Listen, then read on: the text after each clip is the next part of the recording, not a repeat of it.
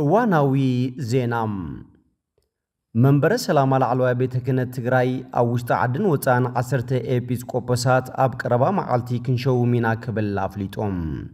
ኣብ ገጻት ማሕበራዊ መራኸብታት ትግራይ ዝረኸብናዮ ሓበሬታ ከም ዘመላኽቶም። እዞም ኤጲስቆጶሳት ኣብ ቀረባ መዓልታ ስርሖም ክጅምሩ ምዃኖም እዩ ተገሊጹ ዘሎ።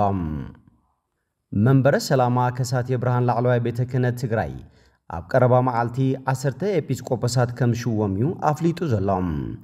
እቲ መንበረ ሰላማ ነዚ ውሳነ ዘመሓላለፈ ካብ 14 ክሳብ 15 ግንቦት 2015 ኣቆጻጽራ ግእዛብ ዘካየዶ ዋዕላ ኮይኑ ኣብ ውሽጥን ወፃእን ዝርከብ ህዝብና ዝተማልአ መንፈሳዊ ኣገልግሎት ንምርካብ ብተደጋጋሚ ብመሰረት ዘቕረበ ሕቶ እዩ። እዚ ውሳነ ተመሓላሊፉ ዘሎ ክብል እውን ኣብ ዝሃቦ መግለጺ ኣመልኪቱሎም ካብዚ ብተወሳኺ መንፈሳዊ ቤት ትምህርቲ ቅዱስ ያሬድ ኣኽሱም ናብ ብርኪ ኮሌጅ ንኽዓቢ ውሳነ ተመሓላሊፉ ከም ዘሎ እውን እቲ መንበረ ሰላማ ብዝገበሮ መግለጺ ኣመልኪቱሎም።